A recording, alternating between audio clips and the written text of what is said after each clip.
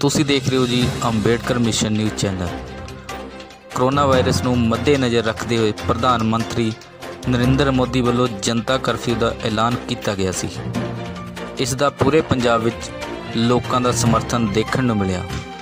ਮਾਛੀਵਾੜਾ ਸ਼ਹਿਰ ਵਿੱਚ ਵੀ ਲੋਕਾਂ ਨੇ ਕਰਫਿਊ ਨੂੰ ਮੱਦੇਨਜ਼ਰ ਰੱਖਦੇ ਸਾਰੀਆਂ ਦੁਕਾਨਾਂ ਬੰਦ ਰੱਖੀਆਂ। ਮੈਡੀਕਲ ਸਟੋਰ ਵੀ ਬੰਦ ਰਹੇ। ਗੁਰਦੁਆਰਾ ਸਾਹਿਬ ਸ੍ਰੀ ਚਰਨ ਕਵਰ ਵੀ ਸੰਗਤਾਂ ਦੀ ਆਮਦ ਨਾ ਮਾਤਰ ਹੀ ਦਿਖੀ। ਮਾਛੀਵਾੜਾ ਸਾਹਿਬ ਤੋਂ ਸੁੱਚਾ ਬੰਗਰ ਦੀ ਰਿਪੋਰਟ, ਕੈਮਰਾ ਪਰਸਨ ਕਮਲਜੀਤ ਪੰਮੇ ਦੇ ਨਾਲ। ਪੰਜਾਬ ਦੀ ਹਰ ਖਬਰ ਦੇਖਣ ਲਈ ਸਾਡੇ ਚੈਨਲ ਨੂੰ ਸਬਸਕ੍ਰਾਈਬ ਕਰੋ।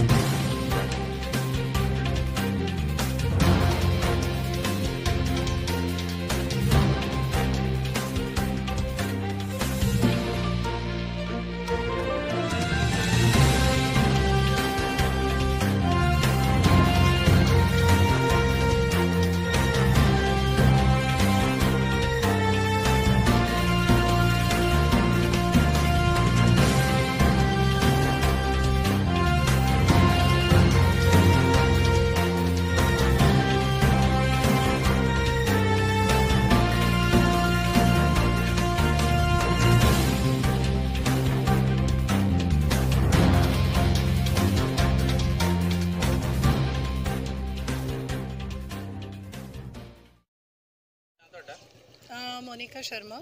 ਅਸੀਂ ਰਾਜਪੁਰਾ ਤੋਂ ਬਿਲੋਂਗ ਕਰਦੇ ਹਾਂ ਔਰ ਨਵੇਂ ਸ਼ਹਿਰ ਰਿਲੇਟਿਵ ਬਹੁਤ ਬਿਮਾਰ ਸੀ ਐਮਰਜੈਂਸੀ ਸਾਨੂੰ ਜਾਣਾ ਪਿਆ ਤੇ ਹਰ ਜਗ੍ਹਾ ਪੁਲਿਸ ਦੀ ਅੱਛੀ ਚੈਕਿੰਗ ਹੈ ਔਰ ਮਾਛੀਵਾੜਾ ਪੁਲਿਸ ਨੇ ਸਾਨੂੰ ਰੋਕਿਆ ਔਰ ਸਾਡੇ ਨਾਲ ਕੰਪਰੋਮਾਈਜ਼ ਕੀਤਾ ਔਰ ਡਾਕੂਮੈਂਟਸ ਵਗੈਰਾ ਚੈੱਕ ਕੀਤੇ।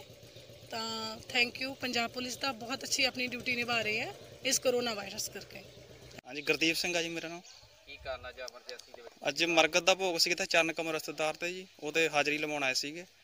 ਤੇ ਮੁਲਾਜ਼ਮਾਂ ਨੇ ਪੁਲਿਸ ਮੁਲਾਜ਼ਮਾਂ ਨੇ ਸਾਨੂੰ ਰੋਕਿਆ ਤੇ ਕਰੋਨਾ ਵਾਇਰਸ ਬਾਰੇ ਜਾਣਕਾਰੀ ਦਿੱਤੀ। ਬਹੁਤ ਸੰਘਾਲਾਯੋਗ ਕਦਮ ਆ ਜੀ ਇਹਨਾਂ ਦਾ ਬਹੁਤ ਵਧੀਆ ਡਿਊਟੀ ਕਰਦੇ ਨੇ ਜੀ।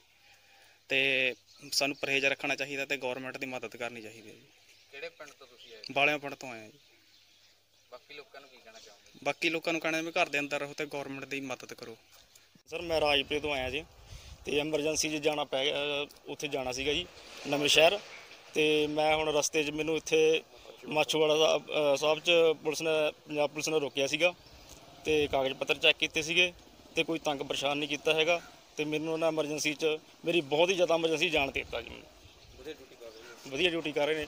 ਕਰੋਨਾ ਵਾਇਰਸ ਕਰਕੇ ਚਲੋ ਆਪਾਂ ਹੁਣ ਮਜਬੂਰੀ ਸੀ ਕਿ ਤਾਂ ਜਾਣਾ ਪੈ ਗਿਆ ਜੀ ਨਹੀਂ ਸਾਨੂੰ ਕੋਈ ਸ਼ੌਂਕ ਨਹੀਂ ਸੀਗਾ ਜੀ।